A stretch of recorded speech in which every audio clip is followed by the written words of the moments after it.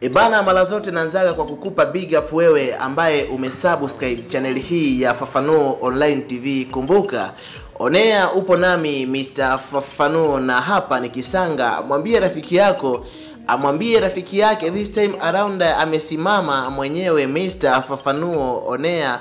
Hapa ni Kisanga na hakiharibikagi kitu, na mara zote nikiwa poa huwaga naita beautiful day ama nice moment. Sijui kwa upande wako wewe mwenzangu, huwaga unahitaji e bana. Ndani ya siku mbili tatu hizi, kuna video chafu za Menina zimekuwa zikisambaa sana katika mitandao ya kijamii. Mambo mengi sana yakasikika. Kuna uh, conversation za WhatsApp ambazo zilikuwa zinaonyesha Menina akichati na Mwijaku, lakini lakini pia kuna sauti voice notes ambazo zilikuwa zinasambaa pia katika mitandao ya kijamii zikionyesha kuna mshikaji fulani hivi anamtisha mwanadada Menina kuwa anataka kuziachia video hizo. Sasa kukawa na utata hapo. Je, ni Mwijaku ambaye amevujisha hizo video ama ni yule jamaa ambaye alikuwa anasikika akiongea na mwanadada Menina?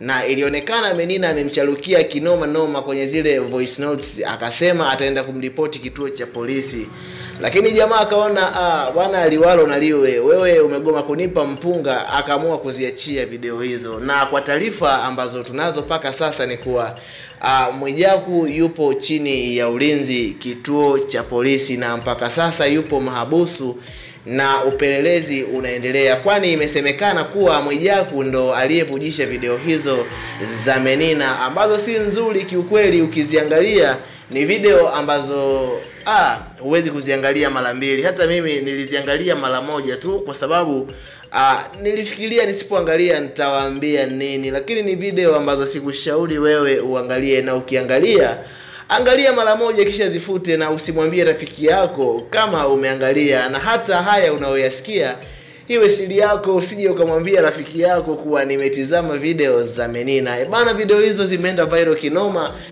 Na mwisho wa siku ikasemekana Mwijaku ndiye aliyevujisha video hizo, na mpaka muda huu tunaendelea na juhudi za kumtafuta Mwijaku, pengine tuzungumze naye yeye mwenyewe kuhusiana na ukweli wa yeye kuvujisha video hizo za za mwanadada Menina au la. Na kama ulikuwa ujui, mpaka video zinavuja bado Mwijaku alikuwa na mahusiano ya kimapenzi na Menina ambaye ni mama wa mtoto mmoja, baada tu ya kuachana na mme wake ambaye walifunga ndoa na wakabahatika kupata mtoto mmoja, na baadaye wakakorofishana waka wakaachana. Hapo Mwijaku akaona ilikuwa ni time yake kujinyakulia uh, mwanadada uh, Menina, na mwisho wa siku ndo mambo kama hivyo, video zimevuja na Mwijaku ametiwa nguvuni.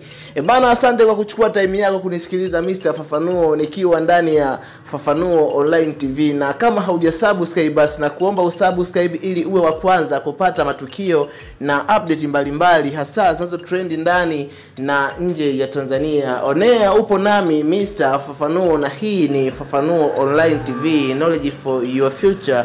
Asante.